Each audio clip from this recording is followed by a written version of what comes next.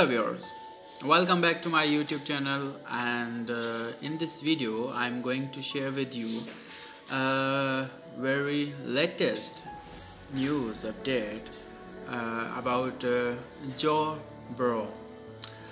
Um, as you know thursday night's game at uh, m&t bank stadium uh, saw joe burrow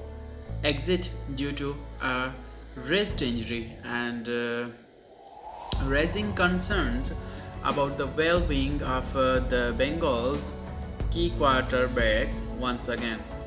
Uh, Bengals head coach Zac Taylor provided insight uh, stating that uh, it looks like he is uh, he strained his wrist and uh, he further he said that he fell on uh, it early in the game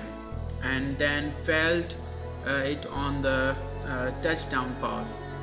So that's all for now and uh,